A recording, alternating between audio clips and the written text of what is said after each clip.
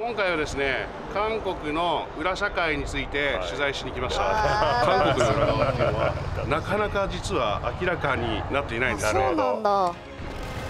これまで闇のベールに包まれその実態すらつかめなかったという韓国ヤクザの世界に命を懸けて潜入する。もちろん日本のメディア初公開。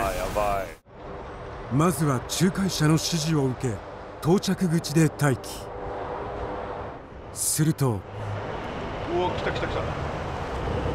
すげえ。よく来てくれました。あなんかえ？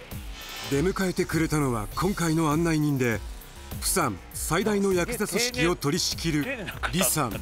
そうですね、ちょっとモザイクかかって分かりづらいんですけど、まあ、非常にあの端正な顔立ちをしてあの韓流ドラマ出てくるようなでもこれ風景で分かるとビジネスマンっぽいですよね。そうっすよね。はい、であの着てるやつも全部もうハイブランドでめちゃくちゃおしゃれですね。もう本当にヤクザものって感じはしないですねおい早くベントレーにお乗せしろ。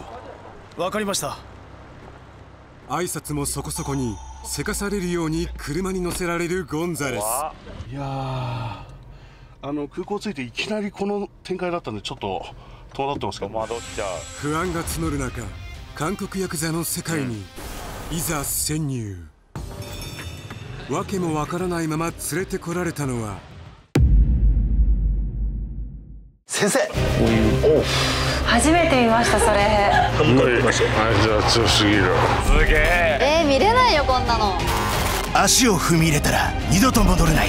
危険でディープな裏社会に芸能人ジャーナリストが潜入オードリー春日が金箔の世界で覚醒てめえでやってごらん。もうそっちが人間じゃないんだよ私。さすがジャーナリスト、風俗講師の先生ですか？はいそうです。橋本まなみが驚愕。風俗嬢の凄技講習。何を流してるんだこれ。趣味講習私すごい被害に遭ってて綺麗な人。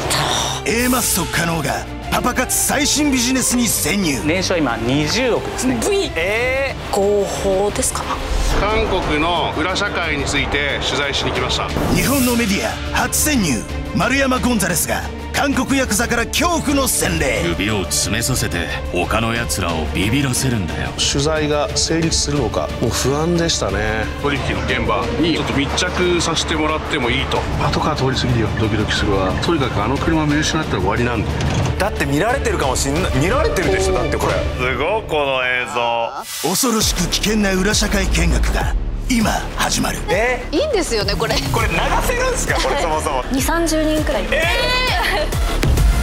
潜入。裏社会見学。